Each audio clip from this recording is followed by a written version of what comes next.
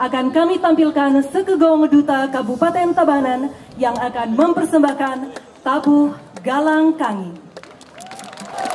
Galang Kangi merupakan komposisi tabuh lelabatan yang menggambarkan situasi menjelang pagi dan suasana asri di pegunungan serta memaknai munculnya sinar mentari untuk mengusir kegelapan. Pelindung Bupati Tabanan Bapak Dr. Iko Manggede Sanjaya SEMM.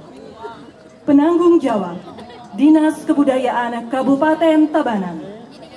Koordinator Imade Arnata. Pembina Tabu Inyoman Resa Angga Nurbawa SSN MSN.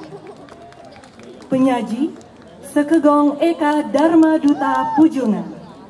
Baik hadirin pecinta seni yang berbahagia, mari kita saksikan bersama persembahan Duta Kabupaten Tabanan. Selamat menyaksikan.